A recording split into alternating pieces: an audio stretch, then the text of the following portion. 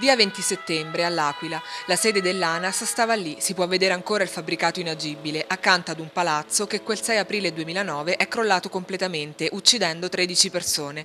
Anche per questo l'inaugurazione della nuova sede, un edificio antisismico realizzato con tutti i criteri di sicurezza e nel rispetto dell'ambiente, puntando sull'efficienza energetica e sulla sostenibilità, ha una valenza fortemente simbolica come segno di rinascita. Meno di 700 giorni abbiamo realizzato la nuova sede, purtroppo la nostra era inagibile inagibile come molti altri edifici eh, di questa città.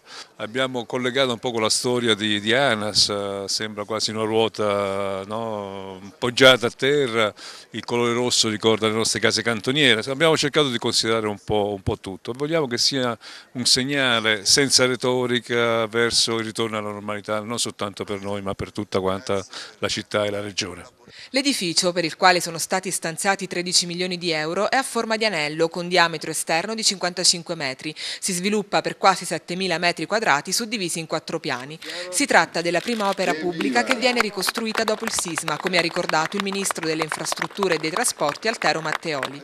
Per i tempi in cui è stata fatta, per come è stata realizzata, con tutte le tecnologie moderne, eh, questa è un po' la, la dimostrazione che quando c'è la volontà eh, politica si, può, si possono realizzare le opere anche in tempi brevi. Credo che e auspico soprattutto che questo sia eh, soltanto un punto di partenza e che si veda sempre più spesso realizzare le opere che purtroppo il terremoto aveva abbattuto.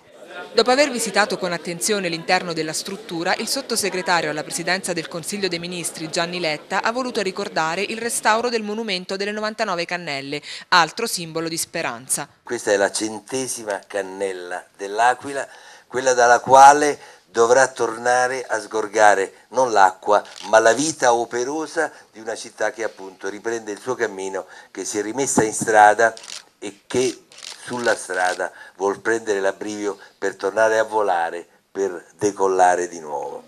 Bene.